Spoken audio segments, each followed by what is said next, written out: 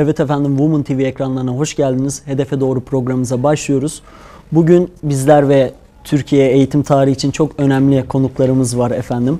Profesör Doktor Ali Fuat Aydın, İTÜ Rektör Yardımcısı bizlerle. Hocam hoş geldiniz. Hoş bulduk. Ayaklarınıza Çok teşekkürler. Sağ olun. Diğer konuğumuz ise Profesör Doktor Yılmaz Akkaya, İTÜ Uluslararası Eğitim Dekanı. Hocam sizler de hoş geldiniz. Teşekkür ederiz. Ayaklarınıza Hoş sağlık bulduk. efendim. Teşekkür ederiz. Hocam öncelikle İTÜ'den konuşacağız ama YKS'ye biraz değinmek istiyorum.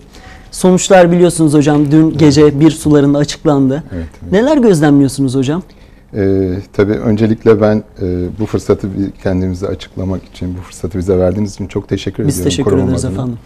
Ee, gençlerimiz için tabii çok heyecanlı bir süreç. Evet. Ee, ÖSYM, YKS sonuçları açıklandı. Birçok yerde e, öncelikle o sınav sonucuna ulaşmak zaten büyük bir heyecan. Değil mi? Evet. Ee, ben kendi zamanımdan da hatırlıyorum. Ee, fakat tabii asıl önemli olan şey şu ki önlerinde bir karar süreci var. Hı hı. Ve e, bu karar süreci e, daha önceki yıllarda daha e, belki sıkıntılıydı. Neden? Tek bir e, şans gibi bunu görüp devam ediliyordu ama son dönemde alınan e, YÖK'ün ortaya koyduğu e, yapılanmada e, bir sene sonrasında da artık tercihlerini o zamanki tercihlerine bakarak bu benim için uygun değilmiş diyerek yeniden farklı bölümlere geçme şansı artık ellerinde var. Dolayısıyla bu bir e, piyango olmaktan Hı hı. daha çok e, bu dönemde elde ettikleri bu e, puan sıralaması e, o puanın yettiği her yere onlara geçiş sağlayabiliyor. Bence bu büyük bir rahat Hı hı. öğrenciler için. Evet. Başta bunu belirtmek lazım. E, hala bunu bilmeyen öğrencilerimiz olabilir. Var değil mi hocam? E, olabilir. E, bu anlamda en azından bu fırsatı da bilmeleri gerekiyor. O stresi içlerinde hissederken bir rahatlatıcı faktör olarak. E, tabii en önemli şey seçimde bence her zaman e, bunu söylüyorum, öğrencilerim de söylüyorum. Yapmaktan memnun oldukları şeyi öncelikle kalplerinde, içlerinde, ruhlarında yıllardır sonuçta e, kişinin kişiliği de 3 yaşına kadar geçtiği düşünülürse bir hayli e, bu konuda kendilerini dinleme fırsatı buldular diye Hı hı. düşünüyorum. İçlerinden gelen sesi dinlesinler ve yapmaktan her gün hoşlanacakları mesleğe doğru yönelmeye çalışsınlar. Bunun için çevre baskısı, kimi zaman anne babaların onlara çizdiği, doğru olduğuna gerçekten deneyimleriyle onların da inandıkları şeyler var. Ama gençlerimizin burada iç sesinin de çok iyi dinlenmesi lazım. Bununla ilgili daha sonrasında ortaya çıkan bir takım şeyler muhakkak ben de öğrenciden sorumlu rektör yardımcısıyım İTÜ'de defaten karşımıza çıkıyor. Ama bunlar hepsi e, uygun bir şekilde çözüm bulunabilen e, sorunlar şeklinde hala.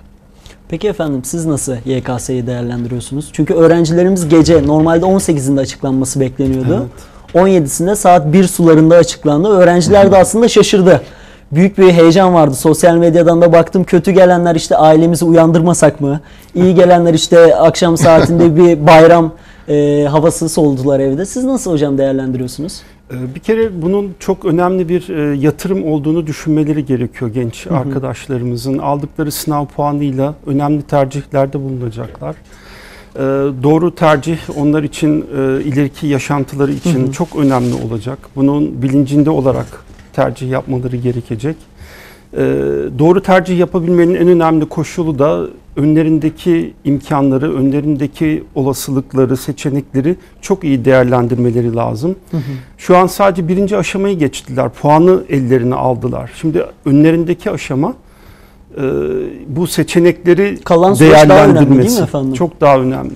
Doğru. Doğru puanla, doğru seçeneklerle ancak başarıyı elde edebileceklerinin bilincinde olmaları lazım. Ee, Genç arkadaşlara iyi araştırmalarını, e, güçlü, köklü üniversitelerde, ileriye dönük programlarda başarıya ulaşabilecekleri, iş bulabilecekleri, kendilerine sadece mesleki anlamda değil, e, kişisel anlamda da e, bir şey kazandıracak programları seçmelerini öneriyoruz. Peki efendim güçlü, başarılı, köklü okul demişken direkt Türkiye'nin en eski okullarından, kurumlarından İTÜ aklımıza geliyor. Evet. Sizlerden hocam İTÜ'yü zaten hepimiz herkes biliyor ama siz içinden olarak e, farklılıklarını, tarihini, bugünümüzü, yarınını İTÜ'nün bize biraz açabilir misiniz lütfen? Tabii ki memnuniyetle. Ee, tabii İTÜ kuruluş tarihi olarak e, 1773'e Hı hı. e, bizdeki e, mevcut dokümanlarla kurulmuş gözüküyor. Bu Osmanlı Devleti'ne uzandığını ve dolayısıyla e, bir hesap yaparsak 246 yıllık bir geçmişe sahip olduğunu bu anlamda Türkiye'nin en eski en köklü kadim üniversitelerinden birisi. E, ve tabii Osmanlı Devleti zamanındaki katkılarla ve kuruluş amaçlarını yerine getirmekle birlikte özellikle yakın dönemde Türkiye Cumhuriyeti'nde e, hemen hemen altyapının her alanında yollar, barajlar aklınıza gelen ve tüm Türkiye'nin imarında aslında bizim mezunlarımız aktif şekilde rol oynamış, taşın altına elini koymuşlar.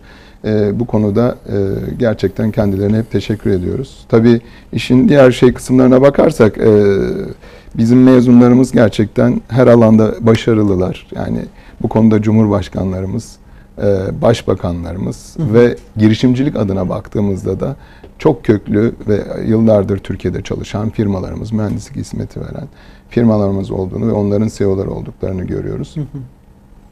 Ee, üniversitemizde e, bu anlamda biraz daha fokuslanırsak e, yaklaşık şu an an itibariyle 1300 öğretim üyemiz var.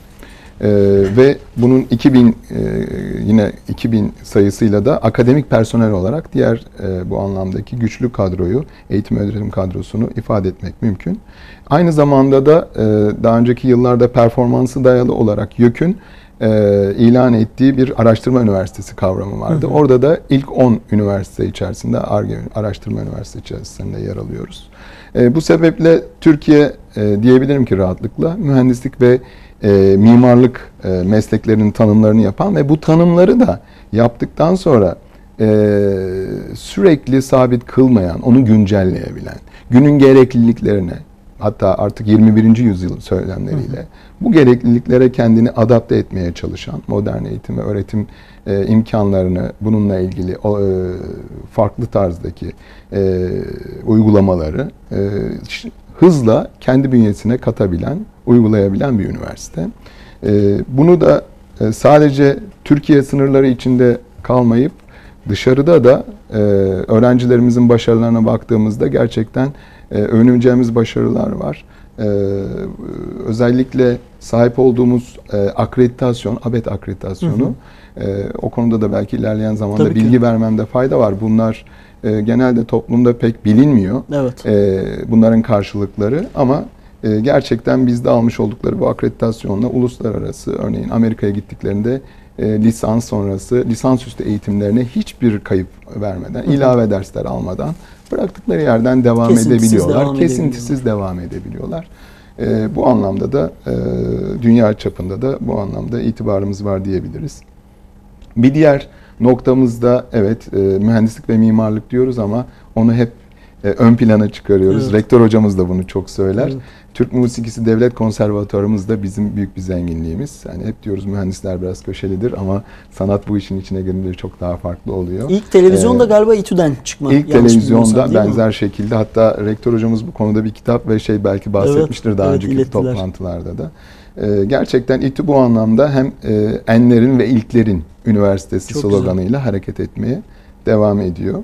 E, tabii İTÜ büyük bir okul. E, beş ayrı kampüsümüz var. Hı hı. E, özellikle e, ben burada e, öğrenci arkadaşlarımıza, daha doğrusu aday öğrenciler öncelikle e, seçimlerin onlar için hayırlı olmasını diliyorum. Ama gelecekleri yerler hakkında özellikle az önceki sorunuza da tamamlayıcı hı hı. olarak bilgi almaları gerektiğini, üniversitelerin tanıtım günlerine, eksiksiz her birine atlamadan gitmeleri gerektiğini ben düşünüyorum. Hı hı. E, hatta belki daha öncesinde bunu söyleme şansım olsaydı e, li, e, lise eğitimi esnasında da üniversitelere gidip bil fiil o sıralara oturup mezunlara ya da ki oradaki öğrencilerle bir takım tecrübeleri, bir takım Oranın paylaşımları, atmosferini solumaları ve kendilerine meslek belirledikleri alanın gerçekten meslek olup olmayacağı ile ilgili e, ruhsal çekini yapmaları gerektiğini Doğru, düşünüyorum.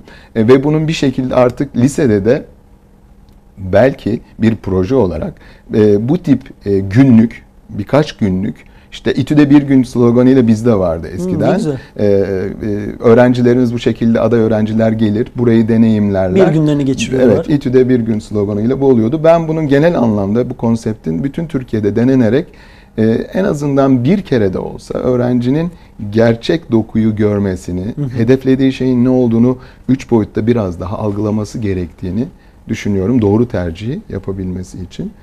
Ee, şu an aşağı yukarı 13 fakültemiz var ve bun, bunda 25 bin lisans, 15 bin de lisansüstü öğrencimiz var. Yani bu demek ki 40 bin kişilik neredeyse bir kasabadan bahsediyoruz. 5 ayrı kampüse bölünmüş ama ana eksende Ayaza kampüsümüz var. Ee, büyük kampüsümüz. Ee, Hem şehrin içinde hem de doğanın içinde diyebiliriz Tabii değil mi? doğrudan ta- Taksim üzerinden metroya bindiğinizde direkt üniversite zaten durağın adı da İstanbul Teknik Üniversitesi olarak geçiyor. Direkt üniversiteye girişi yapıyorlar. Bu anlamda e, bu bizim için büyük bir e, şans. Lokasyon da önemli değil mi efendim? Kesinlikle öyle. arkadaşlara. Kesinlikle öyle. Çünkü Ulaşılabilirlik. büyük şehirlerde trafik sorunu maalesef var. Ee, özellikle İstanbul ben hep onu söylüyorum. İstanbul'da eğer bir üniversitedeyseniz iki üniversiteyi bitiriyorsunuz. Doğru. Neden? Ee, evet normal üniversite ve onun imkanları bütün üniversiteler bir takım söylemler içinde ama e, bu anlamda İstanbul kent olarak da ayrı katkılar, sosyal katkılar ve gelişim e, neredeyse ikinci üniversite hayat okulu diyeceğimiz şeyi sizlere gösteriyor aslında. O anlamda da avantajlı bir yerdeyiz diye düşünüyorum. Peki efendim e, notlarımın arasında uluslararası ortak lisans programları e, var. Bunu biraz açabilir miyiz efendim? Tabii e, uluslararası ortak lisans programları aslında e, İTÜ'nün uluslararasılaşma stratejisinin bir parçası, bir bölümü. E, bu kapsamda İTÜ'de uluslararası bir ekosistem yaratıyoruz. E, burada tabii artık yeni nesil mühendisler yetiştirmek istiyoruz ve bu yeni nesil mühendislerin ihtiyaç duyacağı sadece lisans, e, uluslararası lisans programları değil, uluslararası staj konusu, uluslararası girişimcilik konusu, e, uluslararası e, kuluçka merkezlerinin e, yaratılması, İTÜ'de dolayısıyla oluşturduğumuz bu uluslararası ekosistemin bir parçası uluslararası. Artık ülke sınırları lisans. içerisinde öğrencilerimiz de kurumlarımızda sığmıyor herhalde değil mi? kesinlikle Dünya doğru. insanları olmaları gerekiyor. Kesinlikle doğru. Dünya insanı olmaları gerekiyor. Yabancı dil çok e, Hı hı. önemli Olmazsa bir parça herhalde. bildiğiniz gibi. E, kendilerine bir vizyon katmak istiyorsa öğrencilerimiz, e, hatta karşınızdakine kendi düşüncelerinizi anlatmak, kabul ettirmek istiyorsanız sadece kendi kültürünüzü bilmeniz yeterli değil. Karşınızdaki insanların kültürlerini de bilmeniz, o çok çeşitliliği farkında olmanız gerekmekte. Ee, Dolayısıyla uluslararası ortak lisans programları İTÜ'nün yaklaşık 15 yıldır geliştirdiği e, programlar. Ee, Karşılıklı olarak ortak üniversitelerle yaptığımız Hı. YÖK tarafından onaylı protokollere dayanmakta. Öğrenci kabul şartlarımız da YÖK tarafından onaylı protokoller üzerinden yürümektedir. Ee, Burada üniversiteden e, giriş puanı aldıktan sonra arkadaşlarımızın bir de İngilizce yeterlilik Hı hı. e, puanı gerekmekte. Evet. Bu amaçla e, bir takım yabancı e, kurumların düzenlediği sınavlara girip e, yeterli başarıyı sağlamak durumundalar. Sağlayamadıkları takdirde hazırlık e, sınıflarımıza alıyoruz onları. İki yıl içerisinde e, hazırlık sınıflarını maksimum sürede Hı iki yıl tanıyoruz. Belli bir seviyeye geldiği zaman İngilizce eğitimleri e, ortak üniversitelerde eğitime başlayabiliyorlar. Şu an e, bizim yaklaşık 13 tane e, programımız var. Bunların 8 tanesi Amerika Birleşik Devletleri'nde devam eden 15 yıldır süren programlar. E, Diğer 5 tanesi de bu yıl öğrenci alımına başlayacağımız Bosna Hersek ve Azerbaycan'daki üniversitelerle gerçekleştirdiğimiz programlar. E, Amerika Birleşik Devletleri'ndeki programların 7 tanesi e, New York Eyalet Üniversite Sistemi'nde yer alan 5 adet e, Amerikan Üniversitesi ile yaptığımız e, programlar. Hı hı. E, Bunlar arasında moda tasarım, tekstil pazarlama, inşaat mühendisliği, elektrik elektronik mühendisliği, e, tekstil pazarlama gibi önemli programlarımızı sayabiliriz. Burada tabii programın genel itibariyle yapısı bizim diğer lisans programlarımızdan biraz farklı. Çünkü öğrenci arkadaşlarımız eğitimlerinin yarısını İTÜ'de alacaklar. Diğer yarısını da ortak üniversitede alacaklar. E, Bu itibariyle e, İTÜ olarak ortak üniversitelerle bir araya gelip Hı hı. İTÜ'de hangi yılları alması, hangi dersleri alması daha faydalı, ortak üniversitede hangi yıllarda hangi dersleri alması faydalı oturup bir ders planı hazırlıyoruz. Çok güzel. Öğrencilerimiz bu ders planı üzerinden eğitimlerine devam ediyorlar. Peki efendim biraz değindik. Ee, biliyorsunuz ki yeni nesil meslekler var, yeni nesil bölümler açılıyor. Bunları da biraz açabilir miyiz? Çünkü çok bize öğrenci kardeşlerimizden sorular geliyor. Geleceğin mesleği nedir? Hangi meslekler revaçta olacak diye. Hangileri efendim sizce? Tabii e, bu konunun altı biraz e, uzun bir söylem olabilir ama Evet. e, bazı temel mesleklerde çok büyük bir değişim olacağını ben düşünmüyorum. Ama eğitimin şeklinin başka bir şey evrileceği kanaatindeyim. E, dolayısıyla bu anlamda belki e, aktif öğrenme ve uzaktan özellikle eğitim süreçleri daha net devreye Trendler girecek. değişiyor değil mi? Trendler Dünyada değişiyor. Kaldı ki e, zaten öğrencilerimizin hani aktif olarak e, konsantre olabileceği zaman aralığı 10 ila 20 dakika arasında sınırlı. Dolayısıyla 50 dakikalık dersler ve bunları bütünleşik arka arkaya 3 saat uyguladığınızda da tabii ki verim giderek düşmeye başlıyor. Ama e, tahmin ediyorum artık e, öğrencilerin kendilerini sosyal e, bu tip e, internet ve şeyde e, bilgilere direkt ulaşarak e, bizim tecrübelerimizi, somut uygulamalardan elde ettiğimiz şeyleri e, dinleyecekleri ve onlara pratik uygulamalarını yaptıracağımız nadide zaman aralıklarına bunu dönüştüreceğiz belki yakın gelecekte.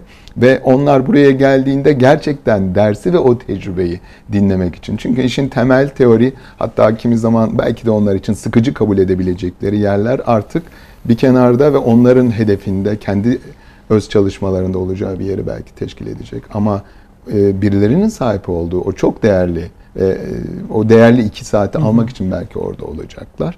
E, buraya evrilmesi gerektiğini ben de artık eğitimin zaten düşünüyorum. Bir de biz hep daha öncesinde eğitmen odaklı bu işlere hep baktık. E, artık öğrenme ve öğrenci odaklı bu işe bakmamız gerekiyor. Bu odağa getirdikten sonra Örneğin hani günümüzün gerçi meslekleri çok dile getirmek doğru değil ama şu an çok değerli düşündüğümüz pek çok meslek e, şu an e, yeni nesil teknolojiler işte adını 3, 4, 5, 0 koyun nasıl ifade Bu ederseniz gidiyor edin. aslında, Giderken sonuçta buraların yerine otonom e, belki tamamen robotik bir sisteme doğru gidecek ama muhakkak karar verici, karar destek sisteminde yine insanlar olacak. Yapay zekanın geldiği nokta nereye gelirse gelsin insan faktörü kontrolde en üstte yine olmak durumunda. O yüzden çok temel şeyler belki şu an bizim için çok değerli sandığımız meslekler yakın vadede başka kaybolmayacak belki ama başka bir şeye evrilecekler diye düşünüyorum. O yüzden hani bir meslek e, alanını örnek vermek çok da istemiyorum bu noktada. Çünkü gençler duydukları her kelama sımsıkı sa- sarılıyorlar. Bence bunun yerine e, daha fazla okuyup e, örneğin şunu görüyorum kendi tarafımızda. Bazen öğrenci seçtiği yeri çok beğenmeyebiliyor.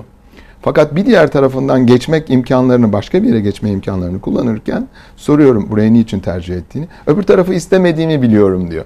Evet ama geleceğiniz yeri de bu anlamda iyi tanımlamalısınız. Bununla ilgili mezunlarından, piyasasından e, ve gerçekten o sıralarda kişilerden de anında çektikleri eziyeti biraz tanımlayarak kendi yollarını bulmaları lazım. Bunu ama muhakkak sorgulamaları gerekiyor ve en önemlisi de şu biz ne anlatırsak anlatalım o bizim deneyimimiz ve bizim yaşadığımız bir tecrübe.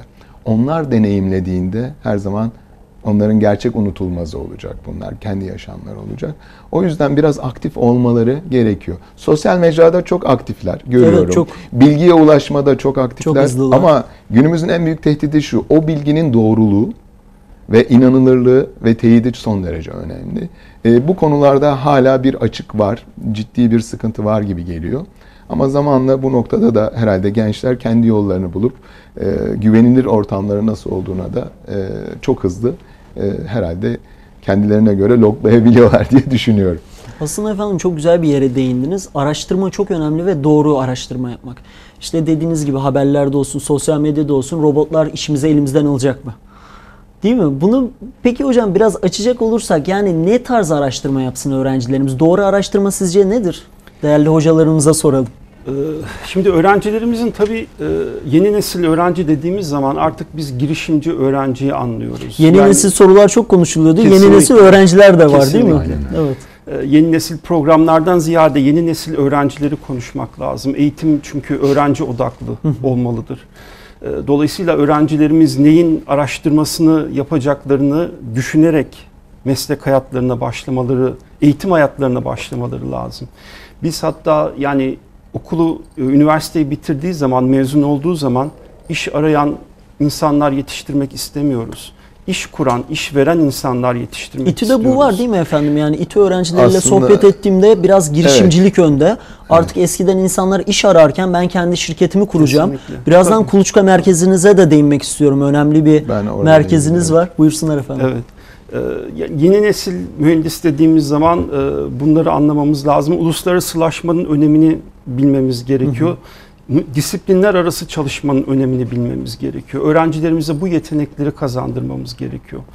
Ee, sadece kendi mesleklerinde değil, farklı meslek grupları bir araya geldikleri zaman yeni bir şey üretebiliyorlar.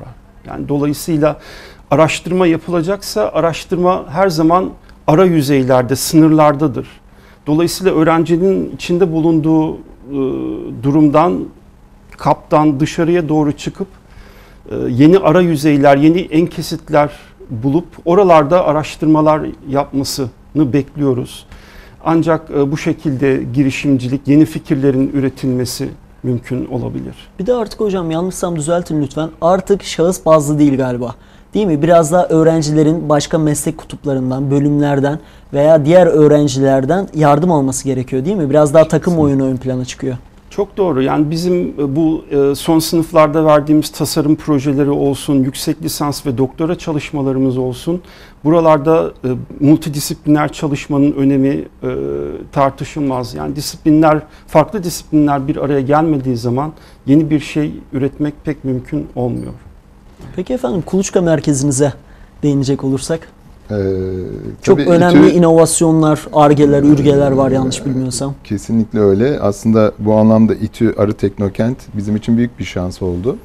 Ee, Türkiye'de de bildiğiniz gibi e, teknokentler içerisinde lider şu an. Hı hı. Ee, ve açıkçası sadece e, kurulmuş ya da belli bir noktada girişimcilikle şirketleşmiş yapıların ötesinde bunun bize zamanla farklı bir katkısı oldu. O da şu, genç girişimciler, e, startup dediğimiz, filiz şirket dediğimiz Hı hı. kısımda olanlar bir fikri, bu konuda bir takım e, gerçekten e, uygulanabilir e, fikri olanlar e, bizlere başvurmaya başladı. Bunu biz de açıkçası tüm e, Türkiye'nin hani e, sadece İTÜ'ye değil e, tüm üniversitelere veya araştırma ARGE ortamındaki insanlara açık bir şekilde bunu sunduk bu ortamı. E, ve çok büyük taltif aldı. En son e, şu an için e, İTÜ Çekirdek diye bir markamız var. Bu e, özellikle kuluçka merkezleri açısından baktığımızda e, UBI'ın indeksinde Efendim Evet. izninizle bir virgül koyalım. Reklamımız var. Peki. Sonrasında devam edeceğiz. Peki. Efendim Aha. kısa bir reklamımız var. Az sonra birlikte olacağız.